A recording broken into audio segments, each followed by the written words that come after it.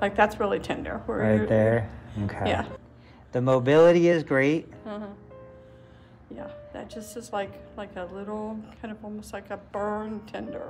Okay, so I'm gonna spend a minute or two just kind of working through some of those tender areas. The goal is when you when you put lotion on, which is fine, vitamin E oil or anything Uh-huh. Yeah. that you want to do, um, that allows you to kind of slide over the skin. Uh-huh.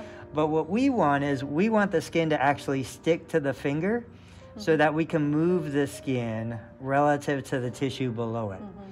Because some of that sensitivity is going to be coming from the deeper layers. Uh-huh. Now, it's moving really well. Uh-huh.